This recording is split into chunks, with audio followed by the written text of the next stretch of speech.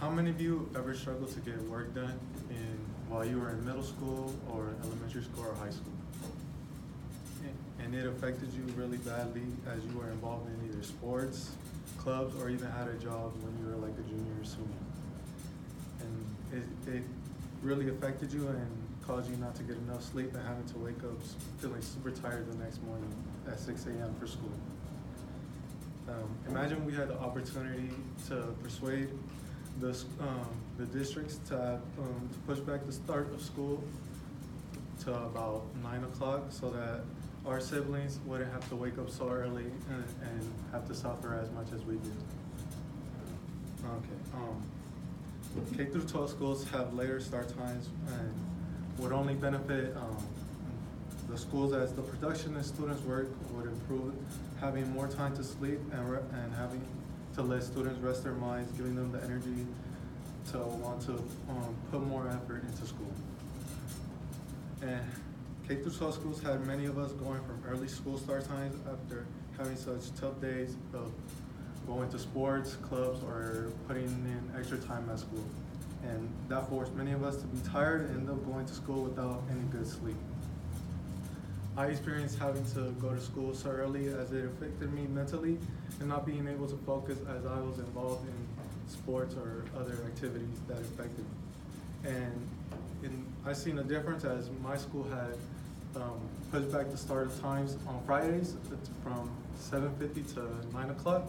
And it made a noticeable difference as not just on my grades, but also in my body energy uh, having, mm, having K through twelve schools push back for a later start time would only benefit students in many ways as they will not have to deal with the lack of sleep. And they would see an improvement in students' health and behavior and an increase in attendance rate for schools. Uh, First off, um, I'm going to explain to you one of the benefits of uh, having later start times for schools. And that is kids will not have to deal with the issue of going to sleep, so uh, not getting enough sleep. Sleep is the most vital human functioning and gives the students the opportunity to get, and pushing back the start of school will give them the opportunity to get more sleep and it will help them to have more energy and be able to produce more in school. Sleep has shown that it can be and have its benefits and can increase many people's health as well. Research done by Matthew Kirby of American of the American uh, Psychological Association has shown that sleep can lead to an overall improvement in, in, in a human such as memory, learning, attention, mental health, weight control, and emotion regulation.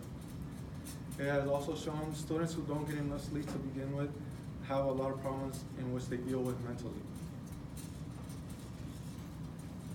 There are many different areas in a body's, uh, in a person's body that can truly, um, that cannot function if one doesn't get the proper sleep, and that they need that, mm, that they need, and it affects them throughout that, mm, throughout much of their day.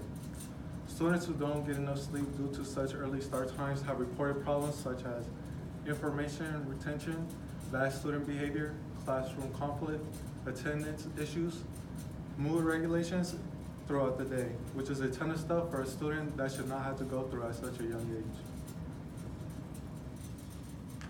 Also, I'm going to explain to you guys um, another benefit of having later school start times, and that is um, it can improve the overall improvement in the student's health in class. Having later start times helps students not having to dwell with uh, um, getting home and doing homework so, so late after a sport or club activity, and not worrying about the time and the need for sleep, and putting them under so much pressure and stress to have to do so much in such little time, as having more time to sleep will cool them down and relax them more. A 2014 study done by Kyla Wahlstrom at a total of eight different public high schools showed that schools who pushed back their start time back for a later time had improved man- many of the students' different moods and of students.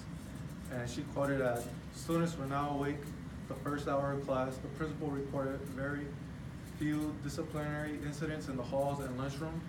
And students reported less depression and feelings of greater efficiency. With later school start times and being able to wake up later and having and giving the students more opportunity to sleep. Students were able to get more than eight hours of sleep and were less likely to fall asleep in class and reported less symptoms of depression and did not do dangerous things without thinking. If later start times is what students need for them to improve their overall health, it is much needed that schools should do the same to see an overall improvement and, and progress for their students. To end off, one of the last things that K through twelve schools having later time helps with is that it can show an increase in students' attendance rate. It has shown that students who are able to get enough sleep have more energy and want to go to class knowing they had, they have had enough sleep to get through the day and puts them in a position to succeed and not fail, which motivates them. Research done, looking at schools' attendance of thirty thousand students in twenty-nine different high schools across seven states shows that two years after a delayed start in high schools, average attendance rates and graduation rates had increased several percentage points. If pushing back the start times not only helps attendance rates, but also helps graduation rates, it serves as a greater purpose to why. And it's, it's needed for schools to, see- uh, if they want to see their students succeed and graduate with a better learning experience. To conclude, the main points of my outline were to show you guys that pushing back the start of school uh, should not have been just a thing for us, but the future as well, as it can help students not have to deal with the lack of sleep, a increase in overall attendance, and improvement in, in students' health. Kids at such a young age should not have to deal with the issues of getting up so early, and many have to realize that kids should not be worrying about this issue and getting, not getting enough sleep. And it, in, which if they have to deal with not getting enough sleep, it puts them under the pressure and stress. And stress can lead to depression, and that is now, and is that what you guys want for your siblings? I don't think so, and you shouldn't either. Thank you.